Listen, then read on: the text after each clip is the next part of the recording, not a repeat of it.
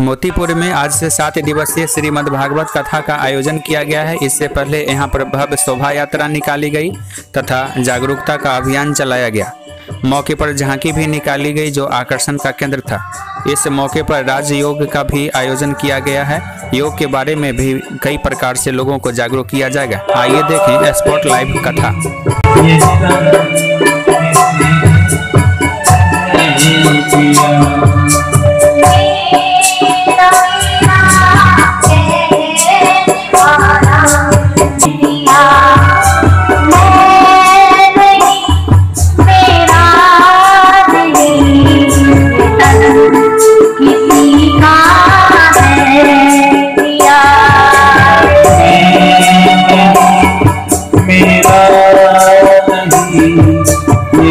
तन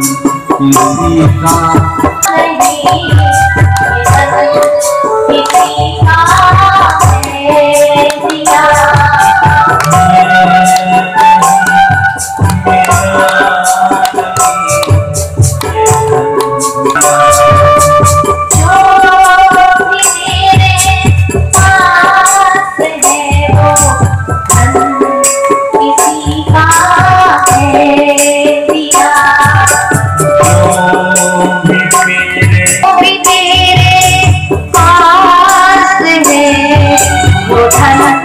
किसी का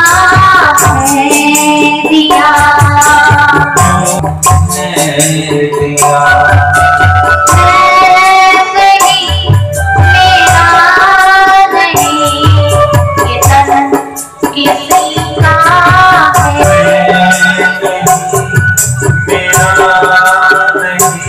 किसी का